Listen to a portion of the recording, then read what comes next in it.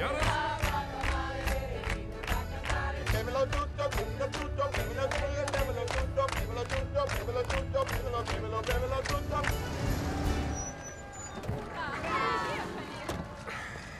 Прощайте, сестрички! Пока, кинки.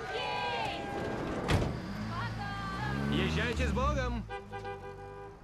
Этот мужик убил 150 человек. 250, не гони. Да, но они тебя любят. А из меня готовы бесов изгонять. Это сложный вопрос. Кто больше злодей? Кто убивает злобных мазафак?